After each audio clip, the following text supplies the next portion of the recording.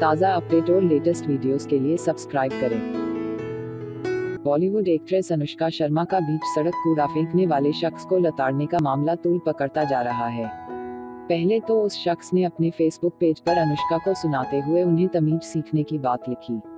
उसके बाद इस शख्स की माँ ने भी इसे पब्लिसिटी स्टंट बताते हुए अनुष्का को खरी खोटी सुनाई। वहीं इस पर अनुष्का को लगातार ट्रोल किया जा रहा है, जिस पर विराट ने चुप्पी तोड़ यूज़र्स को लताड़ लगाई। बता दें कि इस मामले में अनुष्का को यूज़र्स ने ट्रोल कर उनका मेमे बना दिया। ऐसे में विराट ने भी अपनी चुप्पी तोड़ते हुए यूज़र्स को लताड़ लगा दी। उन्होंने अपने ट्विटर अकाउंट पर लिखा कि कई लोग जिनके पास अनुष्का की तरह ऐसा करने का साहस नहीं है, वो इसे मज़ाक बना रहे हैं। लोगों के लिए अब हर चीज़ में ही लगने लगी है, शर्म आती है ये सब देखकर। बता दें कि 15 जून को अनुष्का ने अरहान नामक शख्स को कार से बाहर बीच सड़क पर कूड़ा फेंकने के चलते तगड़ी लताड़ लग लगाई थी। वहीं, विराट ने पूरे नजारे का वीडियो बनाकर अपने इंस्टाग्राम अकाउंट पर शेयर कर दिया था।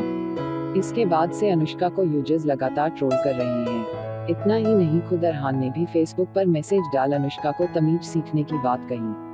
वहीं, अरहान की माँ गीतांजलि एलिजाबेथ ने भी इंस्टाग्राम के ज़रिए अनुष्का और विराट को खूब खरी खरी सुनाई।